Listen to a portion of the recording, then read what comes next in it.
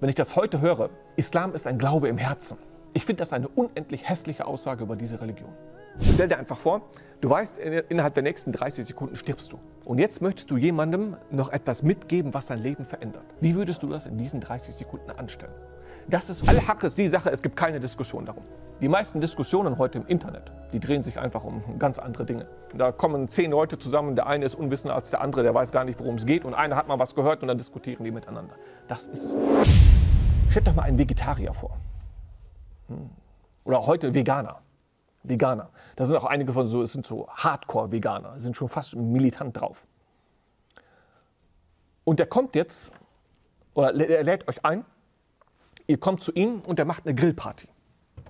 Schickes Steak auf dem Grill. Hm. Er ist Veganer, von mir aus auch Vegetarier. Aber auf dem Grill liegt ein richtiges schickes Steak. Könnt ihr euch das vorstellen? Naja, oder? Aber warum nicht? Warum ist der Vegetarier kein Steak? Das ist gegen seine Überzeugung. Er hat eine bestimmte Überzeugung, er handelt danach. Du kommst zu ihm und es gibt nur Gemüse. Ja, Salat in allen Farben und Formen. Du musst dir dann überlegen, ob du zu ihm hin möchtest, aber er ist Träger einer Überzeugung. Er macht das nicht. Ein Umweltschützer, wenn er Öl wechselt an seinem Auto, könnt ihr euch vorstellen, er nimmt das Öl und kippt das in einen Fluss? Er wird das nicht machen. Never. Er trägt eine Überzeugung. Ein Klimaschützer, meint ihr, der fährt mit einem SUV? Wird er nicht machen. Eine Überzeugung zu haben, ist nur dann glaubwürdig. Es macht überhaupt nur das Sinn, von sich zu glauben, dass man eine Überzeugung hat. Wenn man danach handelt. Wenn man danach handelt. Und das ist die zweite Eigenschaft, die Allah erwähnt. Das sind diejenigen, die Iman haben. Sie tragen eine Überzeugung. die wissen, es gibt mehr. Sie handeln danach. Sie handeln danach. Iman und Glaube ist wertlos, wenn es einfach nur eine Behauptung ist über das Herz. Es macht keinen Sinn, wenn man nach diesen Dingen nicht handelt. Ich finde das sogar, wenn ich das heute höre, Islam ist ein Glaube im Herzen. Ich finde das eine unendlich hässliche Aussage über diese Religion. Unendlich hässlich. Das ist keine schöne Aussage. Islam ist ein, eine Überzeugung im Herzen, das ist richtig, aber es ist etwas, was man nach außen hin sieht. Die Menschen sehen das doch. Mit so einer Aussage, Islam ist ein Glaube im Herzen, du hast alles Schöne von dieser Religion weggenommen. Der schöne Umgang mit deinem Nachbarn, mit deinen Eltern, mit deinen Kindern, das Gute tun in der Gesellschaft, all das ist plötzlich weg, weil es ist ein Glaube im Herzen. Das ist keine schöne Aussage über diese Religion. Das ist eine sehr hässliche Aussage über diese Religion. Iman ist da, ja. Es gibt eine Überzeugung im Herzen. Aber was diese Religion schön macht, ist der Moment, wo man das nach außen hin sieht.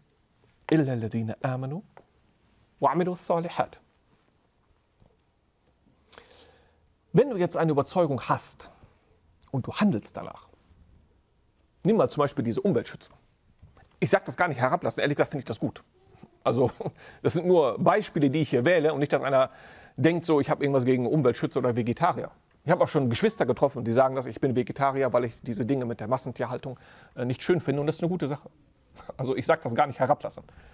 Ich sage das nur deswegen, weil es präsente Beispiele hier in der Gesellschaft sind von Leuten, die eine Überzeugung haben und die auch danach handeln, aber nicht nur das. Wisst ihr, was ihr ganz oft bei diesen Leuten beobachtet? Und deswegen gehen die auch manchmal anderen Leuten auf den Keks. Deswegen sagen, wow, der Veganer schon wieder. Wisst ihr, warum das so ist? Diese Leute, wenn sie diese Überzeugung in sich tragen, sie versuchen, andere mitzunehmen. Die machen das nicht einfach nur selbst. Die sagen nicht einfach, okay, ja, ich habe mich entschlossen, ich möchte kein Fleisch essen. Die gibt es auch. Aber jemand, der richtig dahinter steht, er versucht, andere mitzunehmen. Umweltschützer machen das, äh, die wir Fridays for Future hatten wir vor kurzem noch. Ich weiß nicht, wie der aktuelle Stand ist. Aber das sind Leute, die gehen jeden Freitag auf die Straße für Umweltschutz, für Klimaschutz in diesem Fall.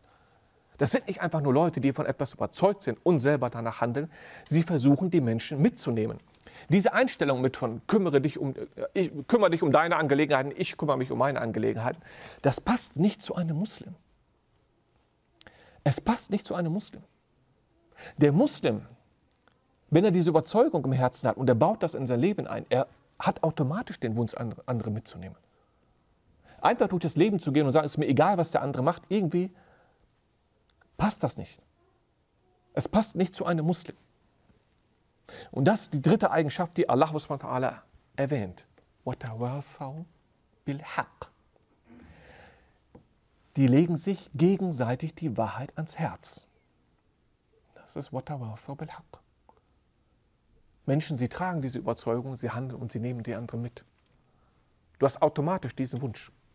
Du hast automatisch den Wunsch, dass der andere, die Umgebung, die du siehst, dass du sie mitnehmen kannst. Tawarsau ist ein, ist ein schönes Wort. Es kommt von Wasiya. Wasiya ist ein, wie ein Testament.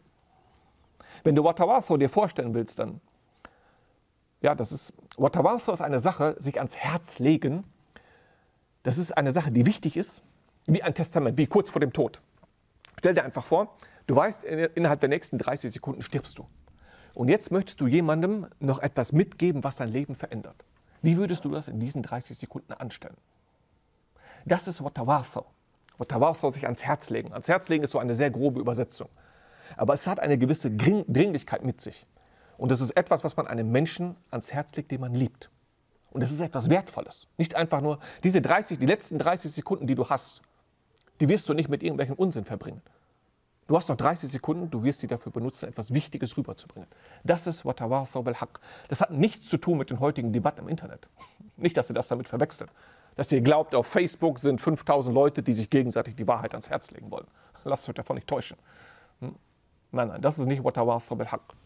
Watawasau bil Haq, ich gebe euch mal ein schönes Beispiel. Das war aus der, aus der Moschee Münster, wo ich war. Ich komme ursprünglich aus Münster. Ich kann mich erinnern, wir waren einmal dort zum Gebet. Wir standen in den Reihen und ich stand dort und neben mir ein Bruder und einer kommt zu spät zum Gebet.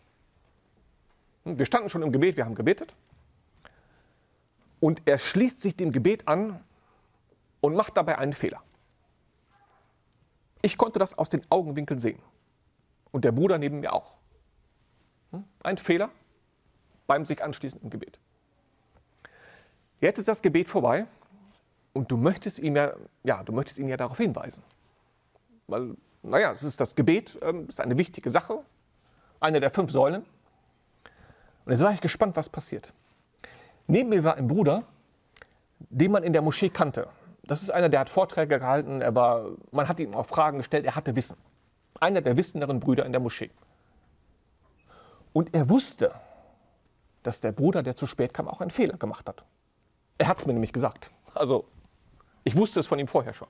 Und ich war gespannt, was passiert, wie er jetzt mit dieser Situation umgeht. Und man würde jetzt denken, er geht zu dem Bruder hin und sagt, hör mal zu, ich habe gerade gesehen, du bist zum Gebet gekommen, aber das war ein Fehler, ich wollte dich darauf hinweisen, eigentlich müsstest du so und so und so machen. Macht er nicht. Er geht zu ihm hin und fragt ihn nach dieser Sache. Wenn man zu spät kommt zum Gebet, wie macht man das? Und der Bruder antwortet ihm und er antwortet ihm falsch. Er gibt die falsche Antwort.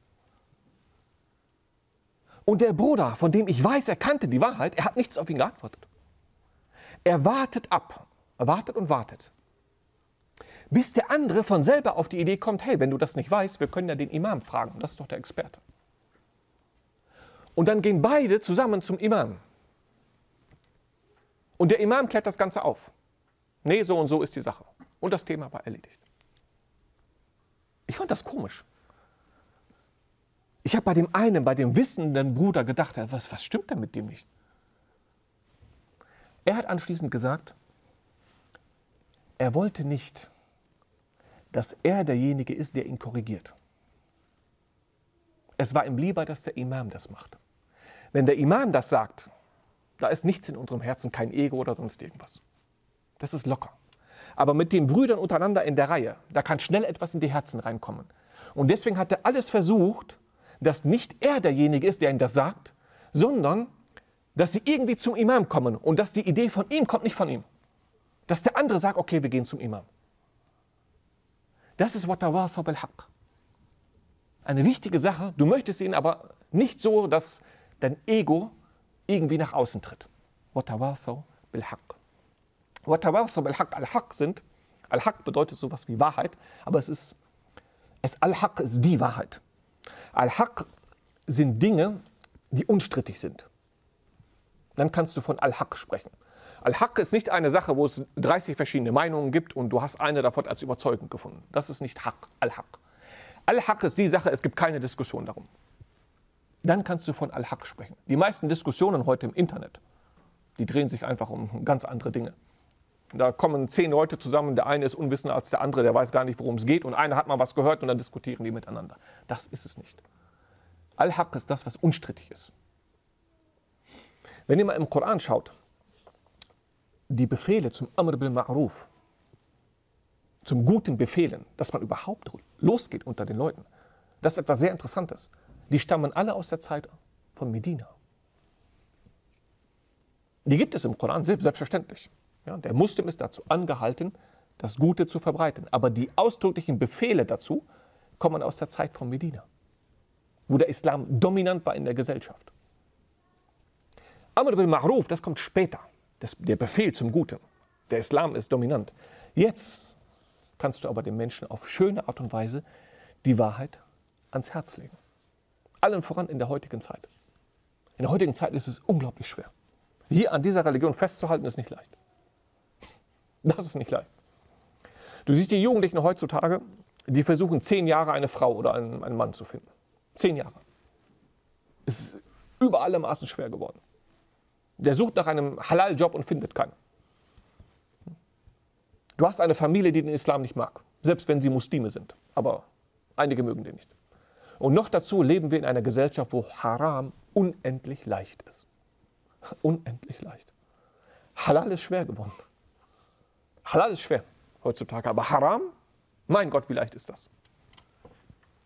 In der heutigen Zeit ist es schwer, an diesen Dingen festzuhalten, an dieser Religion festzuhalten. Aber genau deswegen ist dieses Watawasa bil Haq, diese schöne, liebevolle Art, die Menschen zur Wahrheit zu ziehen. Hast du von dem Video profitiert? Dann ermögliche uns weitere Videos wie diese zu veröffentlichen. Mach dazu jetzt eine kurze Pause, geh in die Beschreibung, klick auf den Link und unterstütze die Dean Academy.